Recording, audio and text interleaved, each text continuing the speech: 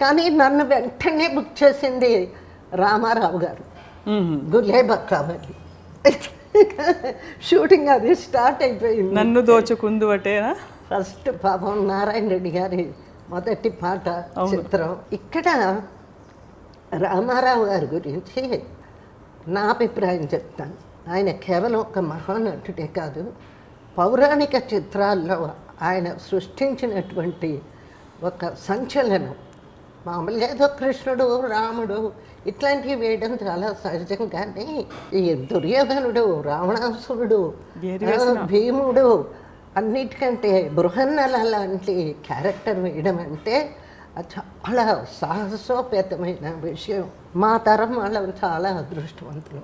అంత గొప్ప గొప్ప కళాకారులతో వాళ్ళ దగ్గర నుంచి ఎంతో నేర్చుకున్నాం.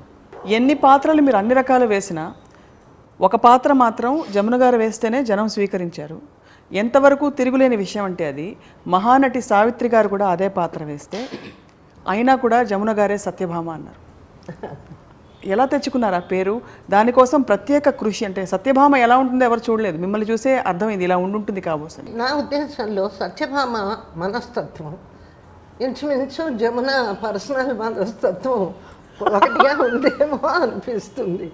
ముఖ్యంగా సత్యభామకి ఒక రిచ్నెస్ ఫేస్లో రిచ్నెస్ ఓవర్ చేయక్కర్లే. ఈ కాల్తో ఇలా అండం అది మీరే. అదే చెప్పబోతున్నా.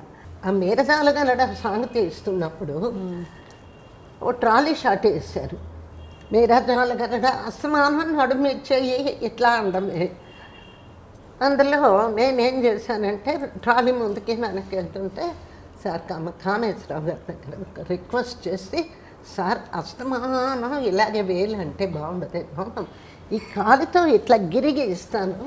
ఈ కాలు మీద నుంచి టిల్టప్ చేసి కెమెరా బ్యాక్ వెళ్తే బాగుంటుందేమో అది చూడండి ఒకసారి చేసి చూపి చేయమ్మా అన్నారు.